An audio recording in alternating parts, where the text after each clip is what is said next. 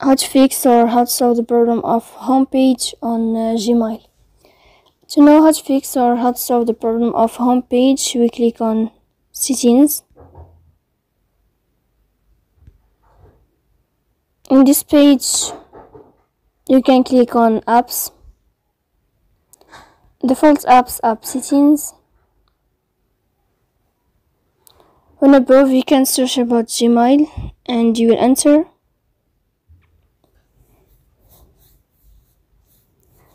then you can click on uh, first step and you can click OK. After that you'll enter to storage.